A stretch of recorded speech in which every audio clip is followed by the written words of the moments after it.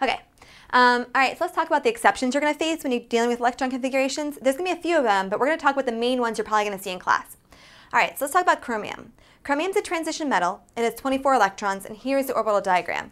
If we were to make this shorthand and make the electron configuration for this, we would make this 1s2, 2s2, 2p6, 3s2, 3p6, 4s2, 3d4. Okay.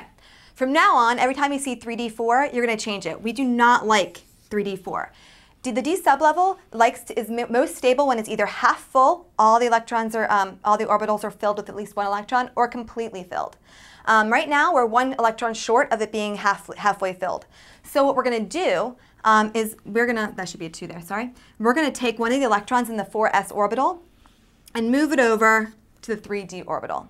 So instead, we're going to write um, actually, we're going to make this argon, as we noted before in the um, noble gas configuration.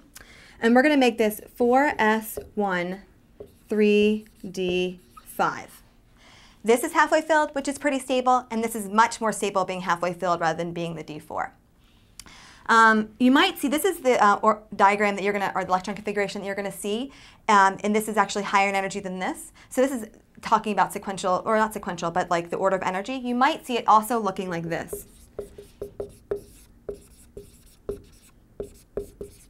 This is just doing it in, or, in um, order of numbers. Three comes before four, but um, they're exactly the same thing. They're depicting the exact same thing. They're not, nothing's different between them. So you might see either one, but they're the same. Down here, the other exception you're going to see is copper, um, or anything along copper, which we'll talk about. Okay, so let's make the um, electron configuration for that. 1s2, 2s2, 2p6, 3s2, 3p6, 4s2, 3d9. From here on out, anytime you see d9, we're going to change it.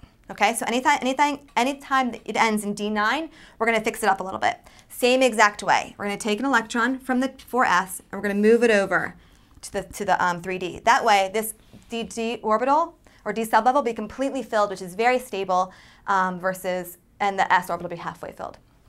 So again, I'm going to make this argon, just to make it easy for myself, 4s1, 3d10. And again, you might see it as argon, 3d10, 4s1. Same exact thing. So those are the exceptions, the main exceptions that you'll see when dealing with electron configuration.